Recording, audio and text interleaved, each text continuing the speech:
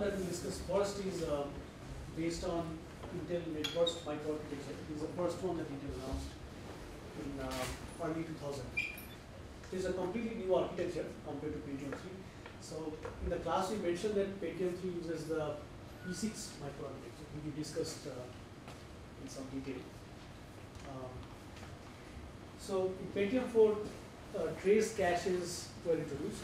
They replaced the conventional instruction cache. Um, it uses very high-speed arithmetic units. Uh, often these are called uh, double pumped ALUs. So we discussed that. Um, so essentially, the, what this means is that if your processor runs at 3 gigahertz, the ALUs would operate at 6 gigahertz. They can complete in half a cycle. NetBurst had 42 million transistors on a 217 millimeter square die on 180 nanometer CMOS. Is uh, fairly advanced compared to your uh, MIPS R10K and Alpha 2164, which were in mid 90s. And the one that we'll be discussing now was codenamed Willamette. So Intel Pentium 4, um, you may not know because uh, these things don't come, come out really in the market. So when you buy, you will buy Pentium 4. Now Pentium 4 has several gradations. Uh, we'll discuss uh, three of these. The first one is Willamette. Uh, next we'll discuss Northwood, and the next one is Prescott. Um, so these three pretty much uh, show the, the, the new designs that were introduced as we go along. Prescott was the last one actually. So Willamette consumes uh, 55 watt at 1.5 gigahertz, and it introduces a large number of new SIMD instructions and also SSE2 instructions. Uh, pipe stages. Um, so this is just a partial pipe. I'm just trying to show you how long it takes to uh, verify a branch prediction. So calculation of next instruction pointer takes two cycles. So, so in Intel lingo, uh, this is essentially the program counter, same as PC. Um, trace cache fetch takes two more cycles. Uh, you will occasionally find pipe stages named drive. So these five stages actually do not do anything. They only communicate from one part of the chip to another. So uh, this this happens more as you try to achieve higher frequency because what happens is that um, wires do not get faster as you reduce transistor size. Transistors get faster, so you can do faster computation. But since wires do not scale as fast as that, uh, your communication becomes more or less constant time. Okay. So as you try to scale at a higher frequency, what happens is that you find that suddenly you just cannot communicate from function unit A to function unit B and actually accomplish the task on unit B. So A has produced a result which you want to communicate to B and B has to compute something new. So you suddenly find that you, you, you cannot accommodate this communication and compute on B in a single cycle. So then you have to divide into two parts. One of the cycles will just be communication, nothing else. Okay, all right. So that's this particular stage. Then you allocate, allocate in queues, allocate ROBs, etc. Uh, rename for two cycles. Um, then this one actually schedules the instruction queues. This one schedules finer grain micro op queues, we'll discuss that. Uh, that takes three cycles. And then finally you dispatch micro ops to the function units. Uh, that takes two cycles. Register file read takes two more cycles. You execute, so these are, these are the fastest possible execution that I'm showing here. Uh, there are instructions that take longer.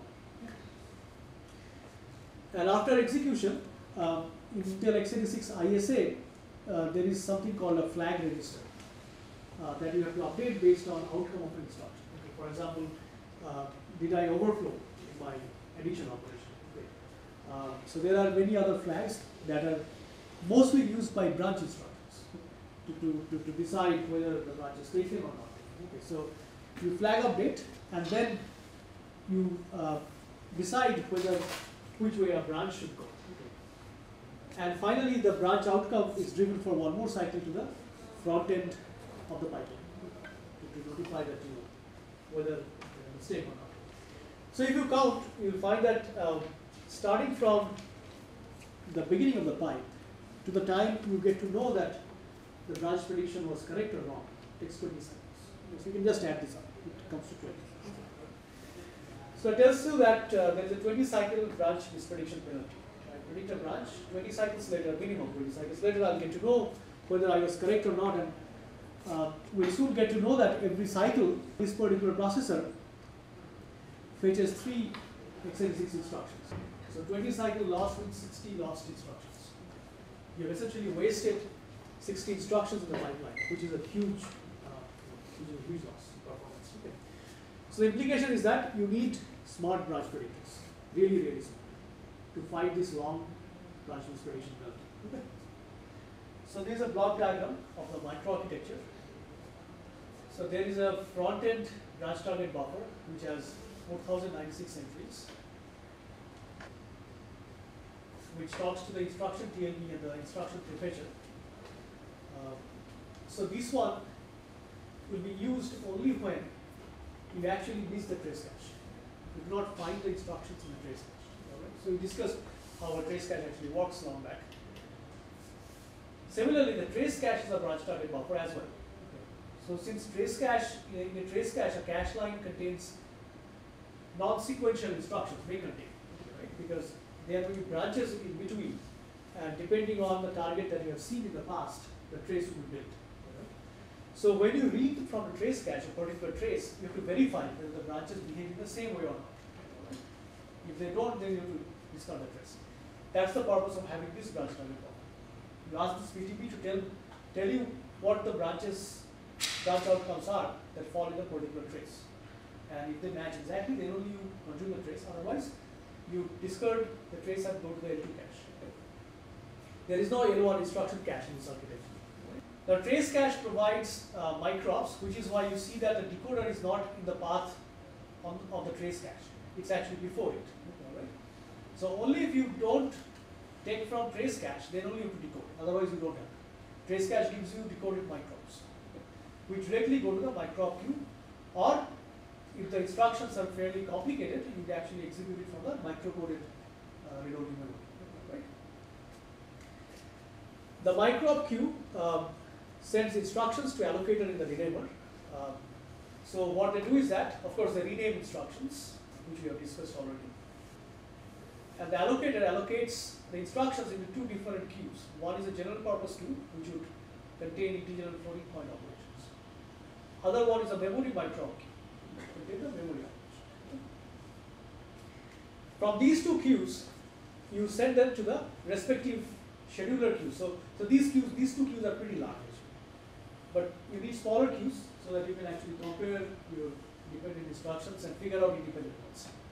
So these two queues send instructions to what they call schedulers, scheduler queues. These are made very small and here you can see that there are five schedulers. One is memory operation schedule, which would schedule only from this queue. There are four schedulers here. One is a fast ALU scheduler, one is a slow ALU scheduler, one is a general floating point scheduler, one is a simple floating point scheduler. Alright. So what they do is that all of them uh, send the instructions to the register file. So for example, floating point schedulers would send instructions to the floating point register file, while the others would send the instructions to the integer register.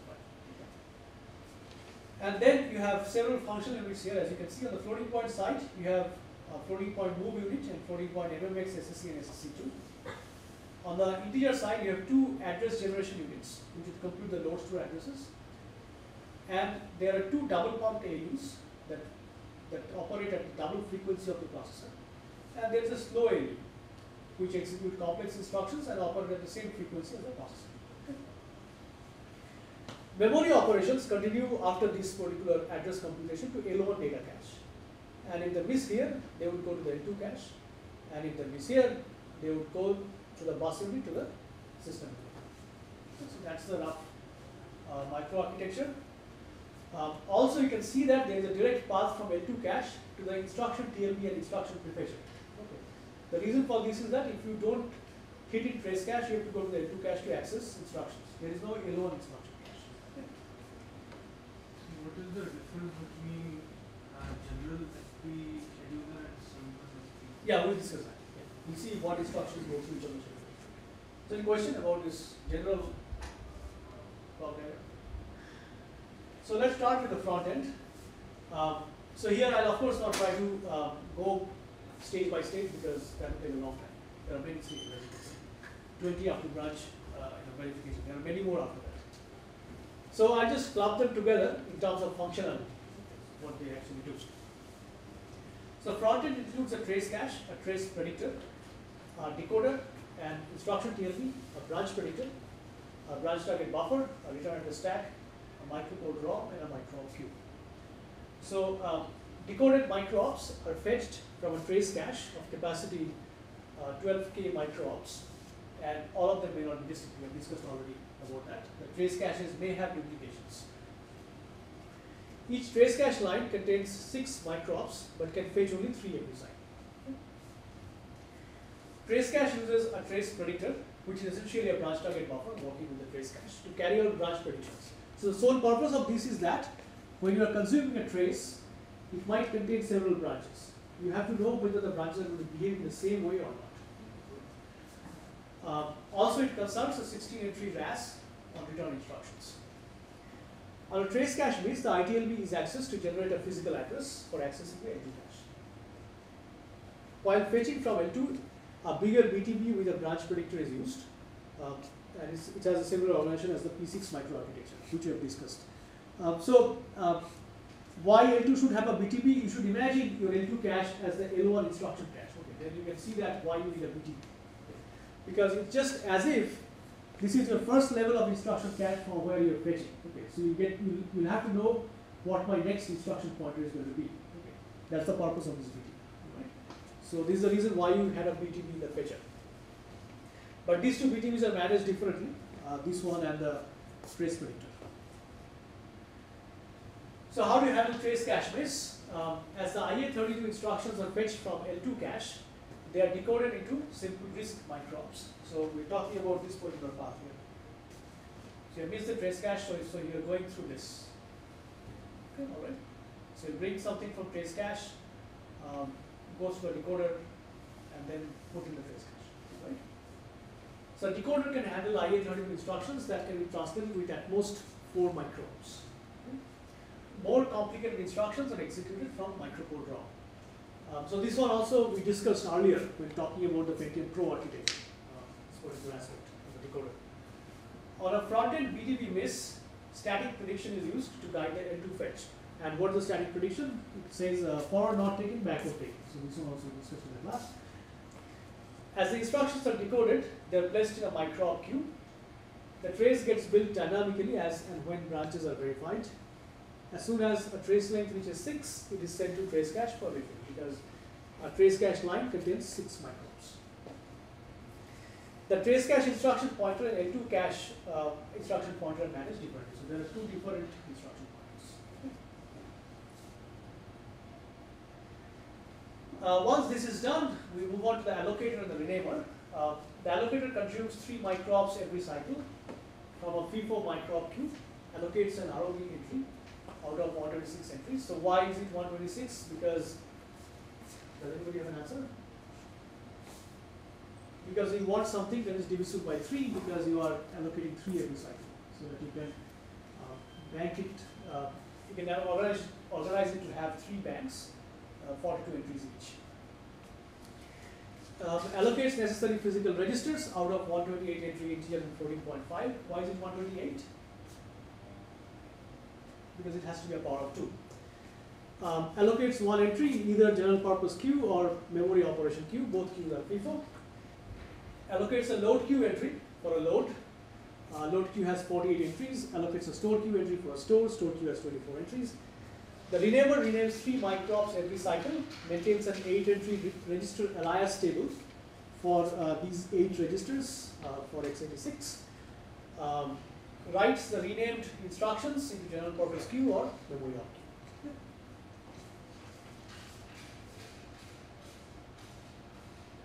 So the next stage is uh, micro scheduling, which consumes instructions from general purpose and memory queue and sends them to respective schedulers. Uh, there are five schedulers for different types of instructions, each with 8 to 12 entry collapsible issue queue. Um, each scheduler handles different types of instructions. We have already mentioned about this: fast ALU, slow ALU, simple slow FP, and memory. The schedulers work under three constraints: availability of operands, availability of issue ports, and availability of function units. So there are four issue ports in Intel Pentium 4. Port 0 is shared between fast ALU and floating point move, store, and floating point exchange. Okay? So uh, you can see what the fast ALU does. It, it carries out add, subtract, logic operations. Uh, it computes the store data and branch operations. Port 1 is shared between fast ALU and slow FP. So there are two fast ALUs, right? Um, slow FP does SSE and MMX. Uh, port 2 is for uh, load and port 3 is for store. Alright, so, so these are the four ports that we're talking about. So here they're shown actually. So this is, uh, these are ports 2 and 3.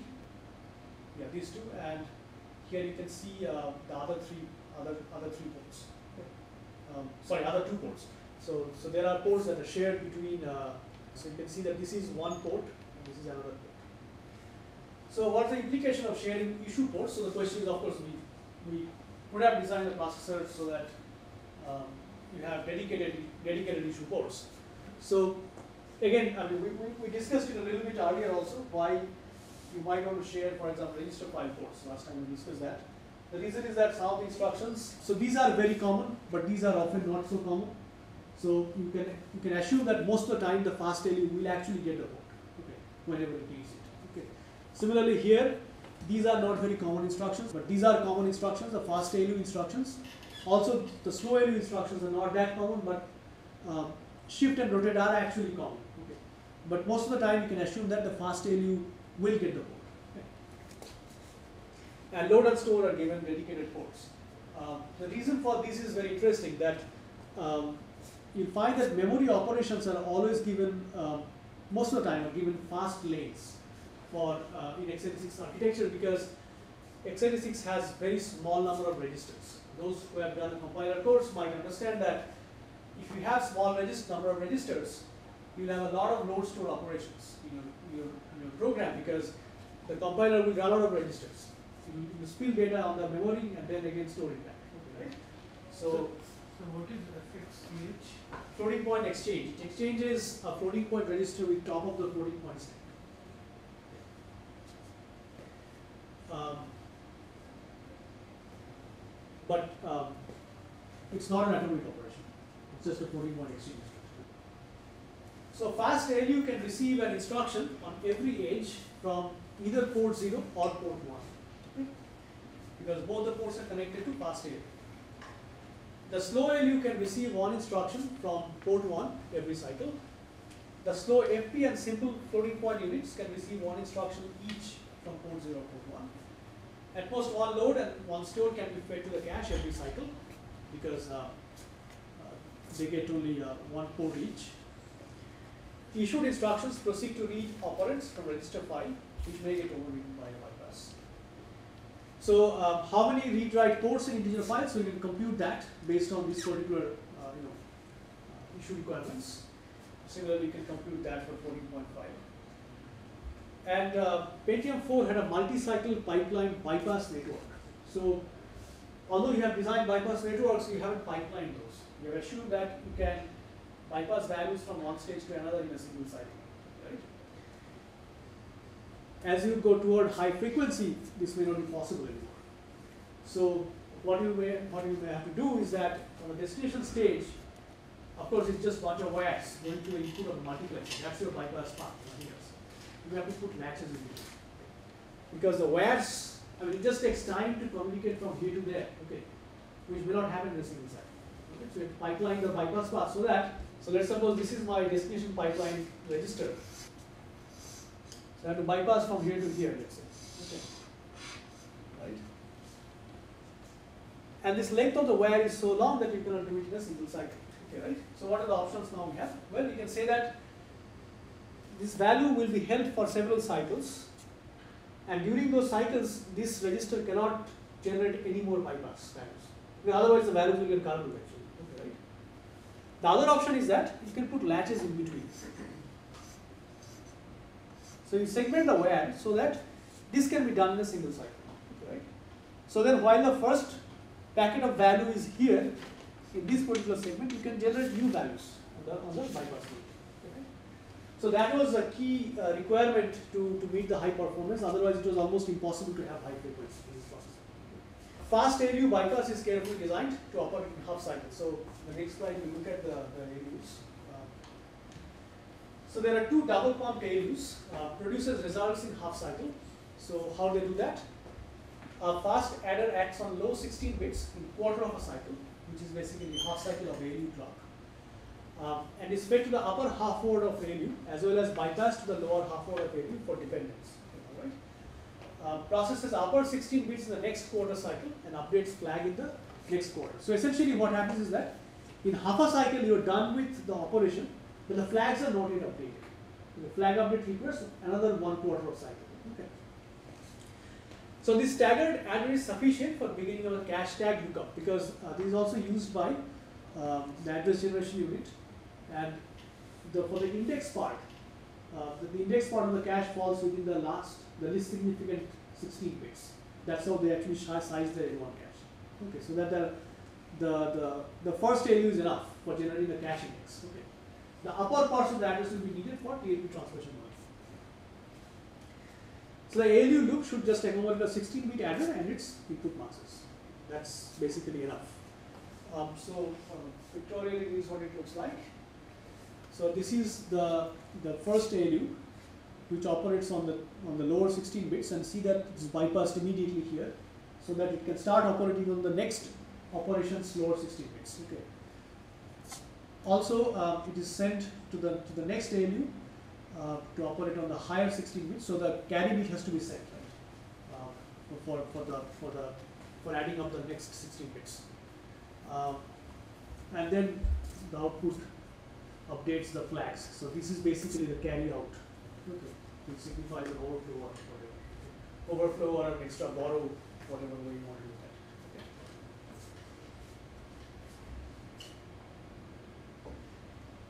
The barrel shifter uh, is a four cycle uh, one. Uh, there is a 14 cycle multiply and there is a 60 cycle divide.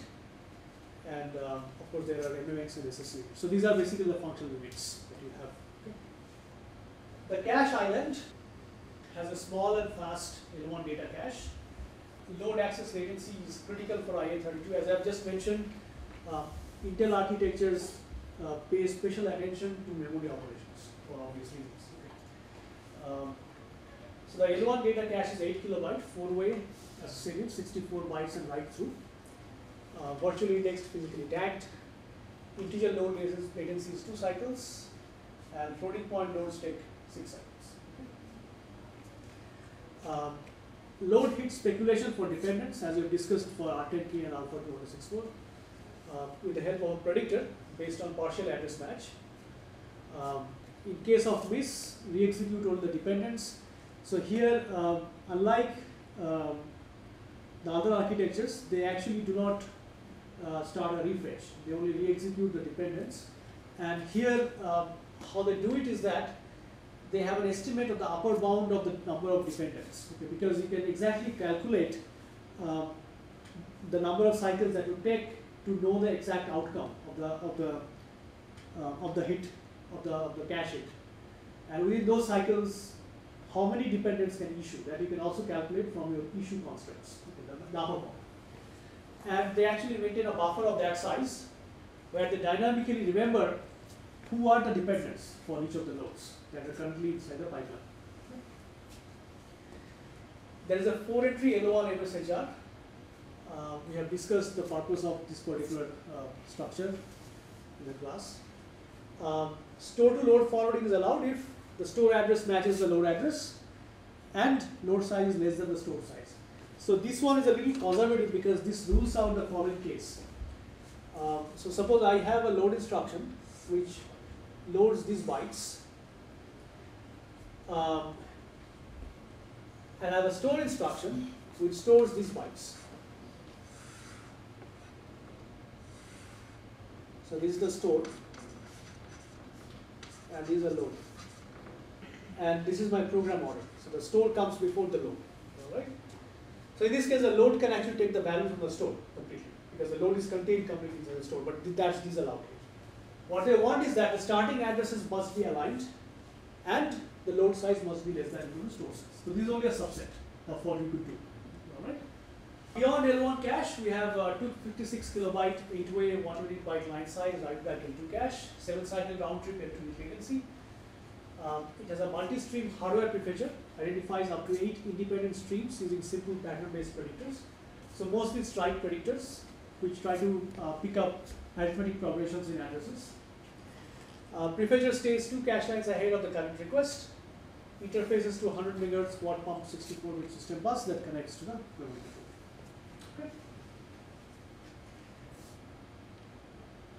Any question? So we move on to the next one uh, after Willamette. So what is the quad pump bus? Oh, I'm sorry. Okay, yeah. So, um, so it actually maintains four different clocks at four different phases, and on each for for every age of each of the phased clocks, you can transfer 64 uh, bits. So essentially, it has an effective frequency of 400 megahertz. So that's what it means.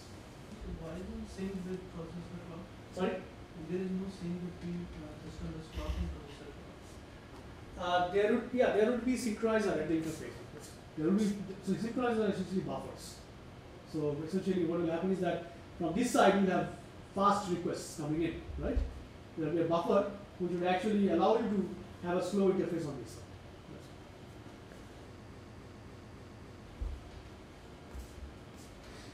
Any more questions? So, um, so this one, uh, Willamette was 180 nanometer. Um, so in between there was um, Northwood, which was 130 nanometer transistor. Um, 55 million transistors on 146 millimeter square die. Uh, the only thing that they changed from Willamette to Northwood was they doubled the size of the APU cache. They went from 2 kilobyte to 5 kilobyte. That's it. The next one was more interesting, and that's what we're going to discuss. That is the 90 nanometer Pentium 4. Uh, that's the Prescott core. And this one was actually the last one in the, in the Pentium family. Um, so this came after Northwood, and it redefined the concept of deep pipeline. Um, this is the first processor designed in industry with 90 nanometer CMOS process. Um, few mic- microarchitectural enhancements over original NetBurst, so this is what we will discuss. It had 125 million transistors, so you can see that more than doubled compared to Northwood. Okay? So must have done something. On a smaller die, um, 112 millimeter square. Um, store buffer size is increased to 32, um, which was 24 earlier. L1 data cache size was doubled to 16 kilobyte and was also made 8 ways heteroscopy. Um, it has a 31 cycle branch penalty, from 20 it goes to 31. Okay. So it really had a very deep pipeline. Um, the first uh, version of Prescott that came out had 2.8 gigahertz plus frequency, and um, it was projected to have 4 gigahertz by the end of 2004, but Intel could not achieve it because of power problems. So Intel stopped at 3.8 gigahertz, and this is what you can buy in the market in the name of Intel Pentium 4 Extreme Edition. So that's Intel Pentium 4. Uh, Prescott clocked at 3.8 gigahertz. You can go and read up this one. Um, I don't know if it's still available though. It's, a, it's an old link. Uh, you can read the story why it had to kill the 4 gigahertz Pentium. So this was uh, the termination of the Pentium line, um, and we'll discuss what happened after that, of course. But first, let's try to understand what these enhancements are. Okay. In um, Prescott.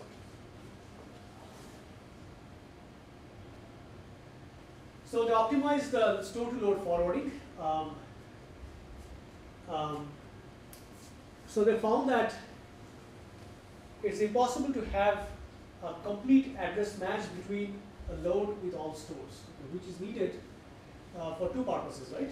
Um, so if you imagine a single queue of load and store of instructions,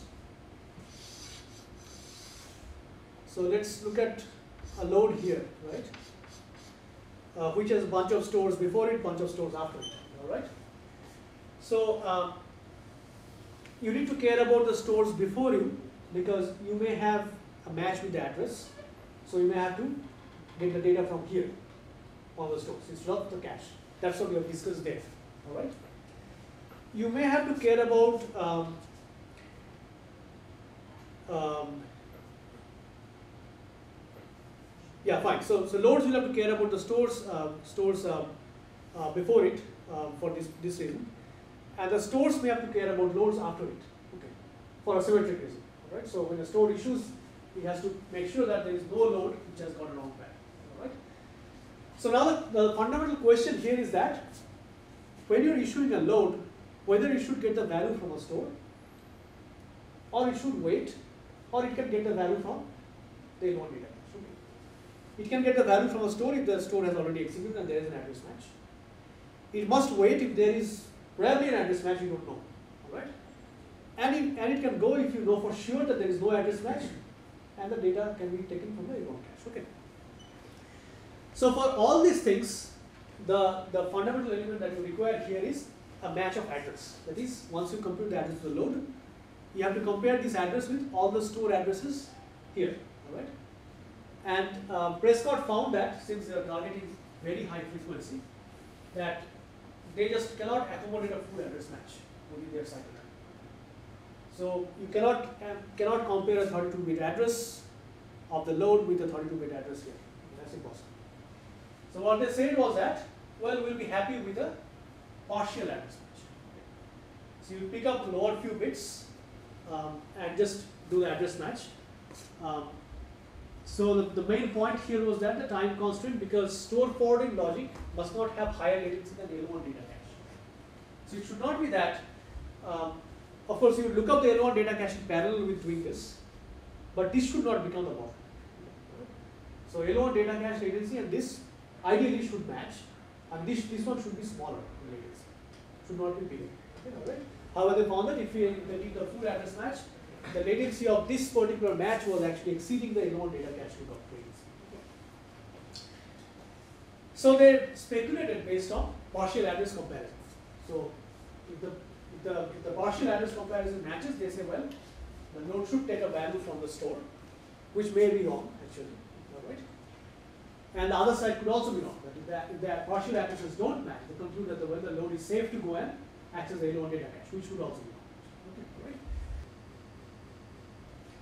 So um, you initiate um, a full address comparison.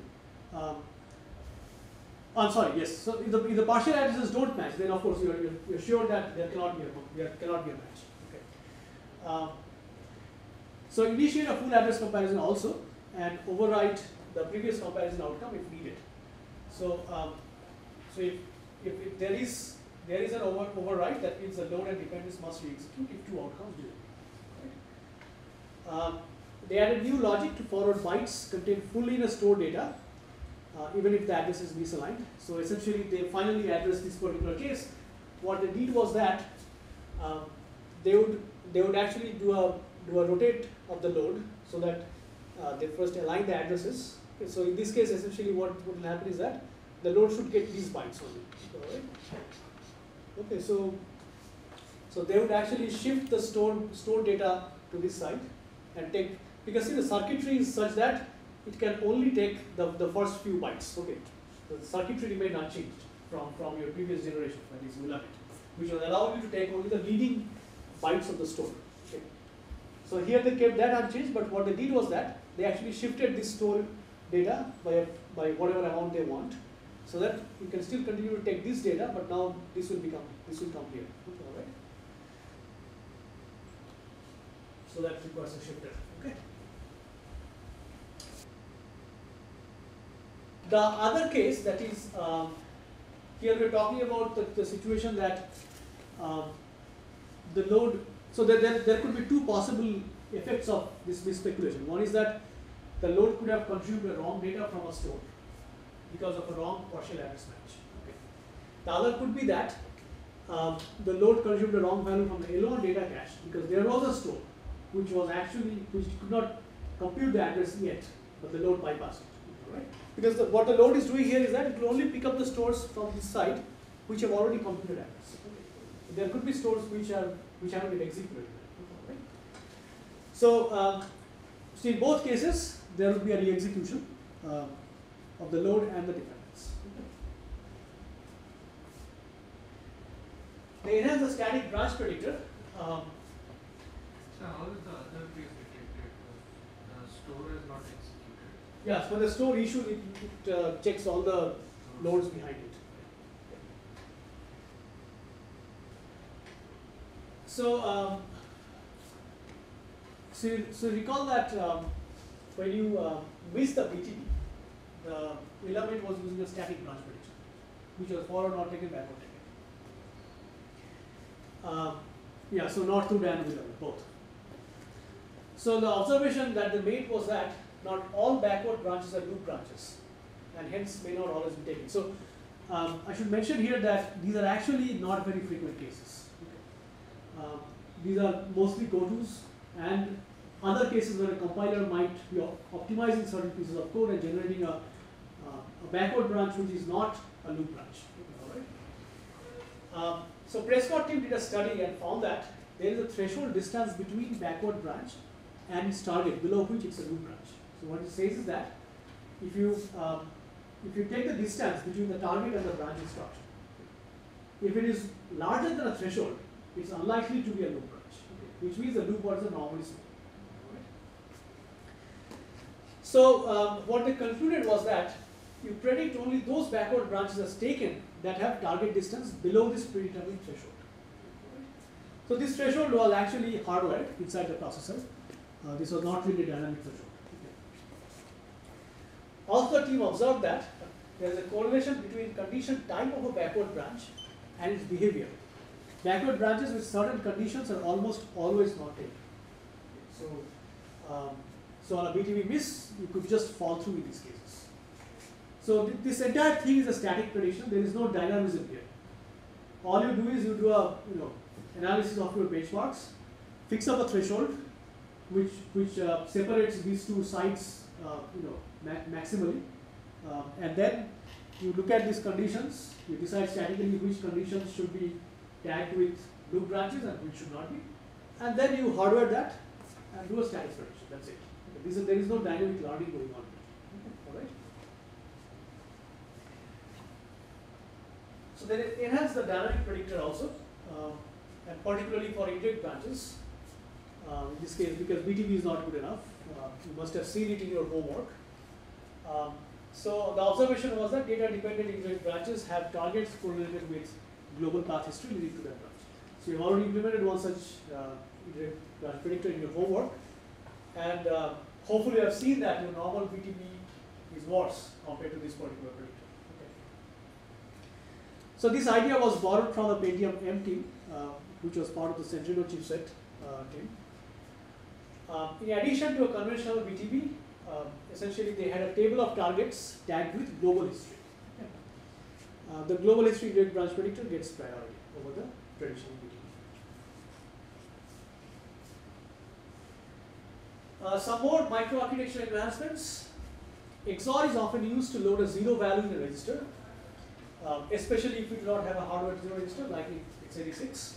So um, you typically come across this kind of code in x86 where you're essentially loading a zero in EBX. Okay, right? And EBX is just serving as some register here. Okay, it could be anything else. Okay, all right? The problem is that consider an instruction that produced EBX before it. All right? So there could be an instruction which produced EBX. There could be a bunch of instructions that con consumed EBX. This instruction is also appearing to consume EBX, but that's not actually true. It has nothing to do with the value in EBX. Okay. So um, it introduces an unnecessary dependence between previous producer of EBX and this instruction. Okay. The point here is that this instruction will probably be held up until the instruction producing EBX has executed, okay. which doesn't make any sense. This is actually independent instruction. Okay. Right. So why would compiler generate such? Uh, so it can't. Why can't it just? Should have just used ex, ex, ex. Same problem with right? Yes, still. Previously. And whatever register you use, you are, you are setting up a dependence chain. So um, the Northwood scheduler could actually detect all these situations and ignore the dependence. So the logic was very simple. Uh, they had a table of such opcodes which could be problematic. And you just look at the opcode of the instructions, compare it as a table, and make sure that the both sources are same. And then what you do is uh, you let it go instead of holding it up. The Prescott expands the set of such instructions. So x86 has many more such instructions, okay, where uh, we could do such interesting things where there is no. Okay. Um, the Northwood also used the floating point multiplier for doing integer multiplication. Um, and this had an overhead of moving integer sources to floating point data path and back, which was same in 264 divider. Uh, so last time we discussed about this, we said that uh, 264 uses the floating point divider for doing integer division. So Prescott implements a dedicated integer multiplier. Some more enhancements, uh, the general purpose and memory of queues are made longer. Scheduler queues are made bigger to get larger selection window. 13 new SSE3 instructions, L2 cache is increased to 1 megabyte. Uh, enhanced software prefetch, not to used to cancel software prefetches that caused PTL releases. Prescott just continues with this. Um, enhanced hardware prefetcher, 8 entry LO1 MSHR, concurrent multiple page table walks needed for hyperthreading, which we'll probably discuss next week. All right, little bit on what happened after that. So once the Pentium line uh, got dominated, Intel uh, essentially took their Pentium M core, which was designed for mobile devices, and uh, improved it to be used in their desktop, um, server, and notebook market. And this was called, the, the improved architecture was called a core microarchitecture, based on which um, you have all your processors starting from Core Duo down to today, the Core i7 and everything, okay, that use this basic microarchitecture. As such, nothing much changed, cannot change, because fundamentally it's still an out of order issue processor. Um, some numbers changed, um, fetch retirement width increased from 3 to 4. So now that matches uh, MIPS R10K and Alpha 264. Um, the pipeline was made shallower to save energy. So uh, Prescott had a 31 plus uh, stage pipeline. So it has a much smaller pipeline actually. Okay. Uh, they also introduced something called micro fusion. This was very interesting. So what they did was that, so they had actually two types of fusion, macro op and micro fusion. So macro fusion actually takes multiple x86 instructions and fuses them into a single operation at runtime. So this is done totally in hardware. And micro op fusion, what it does is that it takes the micro-ops of an instruction and fuses them to, to reduce the number of micro-ops in, inside the pipeline. So, um, so that, that actually saved a lot of uh, energy uh, and also saved execution time. Okay. Enhanced rounding mode control in floating point pipe. So actually, uh, well, I should say that this was actually done because they did not want to change their decoder. Because they could actually could have it, it has a decoder to actually not generate so many extra extraneous micro-ops. Okay. So after the decoder, they put this optimizer, who should actually examine the micro-ops and fuse them if possible. They are an enhanced rounding mode control in floating point pipe, faster integer division on average. Um, so these two are very interesting. Uh, that actually really gave uh, um, a very high performance boost in their processors. Um, early detection of problem loads. Uh, so this one uh, is, is talking about uh, loads that bypass store and later uh, get caught because that was a mistake. Okay. Um, so I've seen in 264 that they use a load wait table to, to remember such loads, okay, right? Which has caused problem in the past. So the core microarchitecture actually uh, incorporates one such predictor, uh, a similar such predictor which uh, tries to identify the loads that continuously cause such problems. Okay, they do not actually issue them speculatively. They wait until all the stores before it has completed. they also uh, incorporated an L1 data cache prefetcher, which is instruction pointer directed. So this one is very interesting. What we observed was that, well actually uh, this, this has already been observed in several research papers, that if you take a program and look at a particular load instruction, you'll find that the data addresses that the load instruction generates are highly correlated. They will probably be sequential if you're accessing an array. So I'm, what I'm talking about is that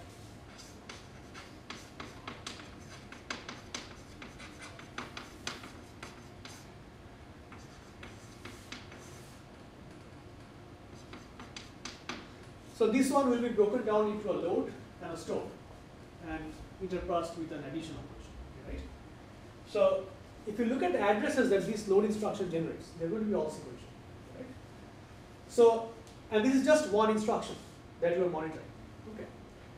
So that's fairly easy to prefetch. That's exactly what they did. They essentially maintain a table where for each load store instructions uh, instructions address, there will be a prefetcher which would actually find out this particular pattern. In this case, the pattern is sequential. Stride one and predict. Alright? So the advantage of an instruction pointer directed prefetcher over an address based prefetcher is that it, it gives you a lot of compressed information. Just for a single program counter, you completely compress the, the whole pattern instead of actually looking at um, dividing it into a into bunch of streams and learning each of the streams separately. Okay, that's not needed here. Which which was so those stream prefetchers are still there because those are needed for catching other complicated patterns. But this one can catch simple patterns um, and can work fairly well um, with a very small storage budget.